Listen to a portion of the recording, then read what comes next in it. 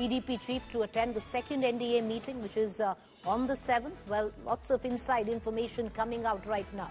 Listen in to Chandrababu Naidu right after the meeting. Sir, how was Eh, eh, How can we contest elections if you are not a part of NDA? Three parties combined we collected. Why you got that doubt, I don't know. Sir, how was the meeting? How was the meeting, sir? Good.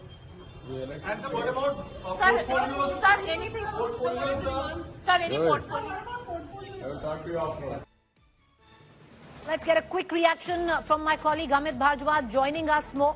For more, Amit Bhardwaj, you spoke to Chandrababu Naidu, at least with the media, very clear, I am with the NDA.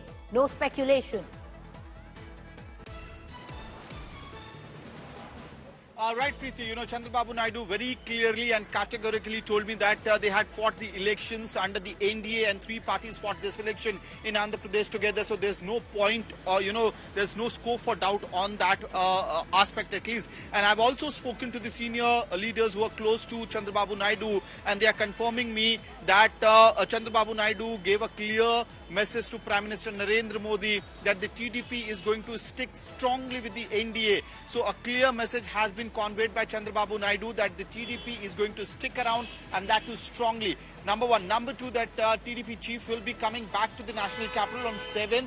Uh, there is another meeting, second round of meeting of the NDA MPs, which is to happen on 7th at 11 a.m. That's what sources are telling us. This meeting will happen in the old building of the parliament in the central hall.